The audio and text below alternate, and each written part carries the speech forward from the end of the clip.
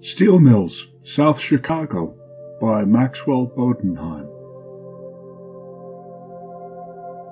1. This red hush toppling over the sky wanders one step toward the stars and dies in a questioning shiver.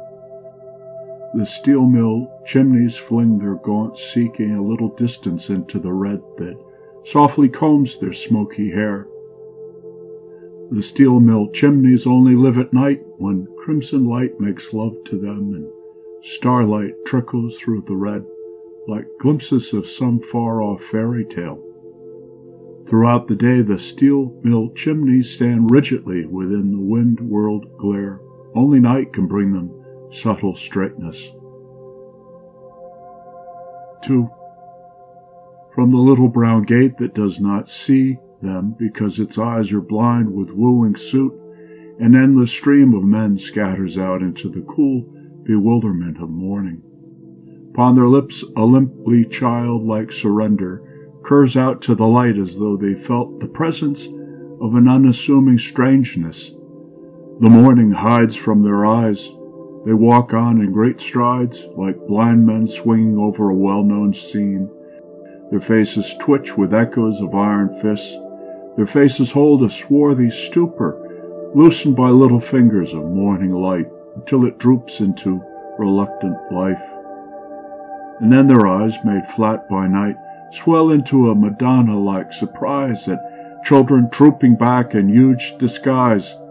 The oranges and lunchroom windows change to sleek suns dipped in sleepy night, and rounded tarts and china plates are like red heartbeats, resting but not dead, a trolley car speeds by and seems a strident lyric of motion. Wagons rumble down the street like drums, enticing weariness to step. The hearts of these steel striding men ascend and blend within their eyes, and yet these men are unaware of this. They only feel a fluid relief, voicing in a clustered roar the cries of struggling thoughts unshaped by words. But there are some who break forth from the rest this old Hungarian strides along and binds naively winged prayer sandals upon the heavy feet of shuffling loves. Gently he plays with his beard as though his fingers touched a woman's hair. And this young Slav, whose surly blasphemy curls his face into a simple hate, has taken iron into his laugh and uses it to hew his stony mind. Or this Italian whose deep olive skin shines like sunlight groping through dense leaves, forgets his battered happiness and bows with mock grace to his shouting day. Beside him is a fellow countryman, walking aimless, dazed with joy of motion. Upon his face a glistening vacancy lights the mildly querying thoughts that seek each other but never meet. Behind him steps a stalwart Pole whose rhythmic, stately insolence turns the sidewalk into a gray carpet. Gray as the shades that race across his face and show the savage squalor of his soul. Night has broken her heart upon him, only scarring his bitter smile. A street of little jack-o'-lantern houses veering into leering saloons where the night a crazy child dips herself in sallow rouge and chases oaths and heavy mirth and even human beings, where the smoky sadness of the steel mills wanders hesitantly into death and drops a ghostly blur upon this girl. Her numbly waxen cherub face emerges gently from the doorway's blackness, as though the dark had given birth to it. And then the falling light reveals that something of a village hangs about her, something slumbering and ample. The doorway is too small to hold her shoulders that are like a hill's broad curves, dwindled in the distance. She is one of many earth curved girls who listen to the insistent tinkle of wind winged music from a far off land, listened and knew not that their own hearts faintly played.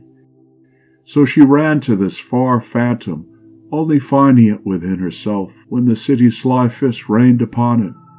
Then once more she fled, with a dead heart whose restless pallor crept to squalid wantonness for refuge.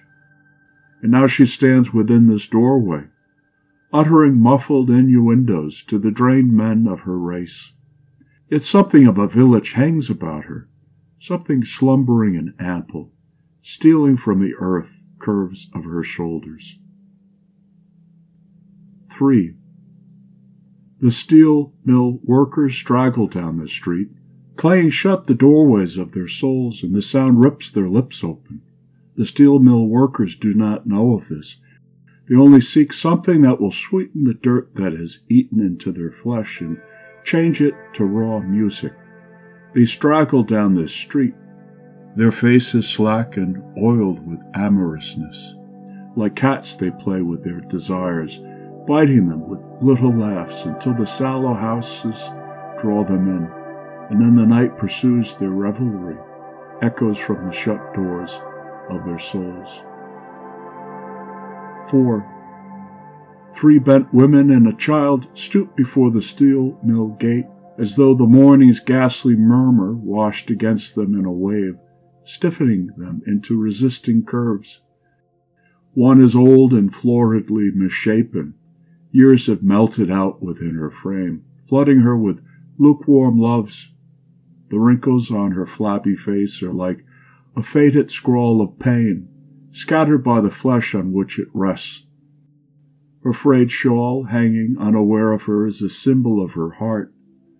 The woman standing at her side is tall and like a slanting scarecrow, coldly jerky in the morning's glare. Only when she lifts a bony hand, tapping life against her face, does the image disappear. Dead dreams dangle in her heart limply hanging from their rainbow sashes. And whenever one sash trembles, then she lifts a gnarled hand to her face and tastes a moment of departing life. Near her stands a slimly rigid woman with an iron fear upon her bones. A worn straitjacket of lines cuts the dying youth upon her face. The slender child beside her buried within staidly murky clothes, glances frightenedly up at her mother.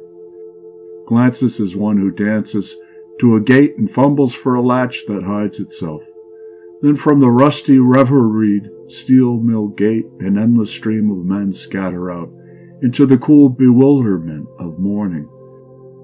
Upon their lips a limply childlike surrender curves out to the light as though they felt the presence of an unassuming strangeness.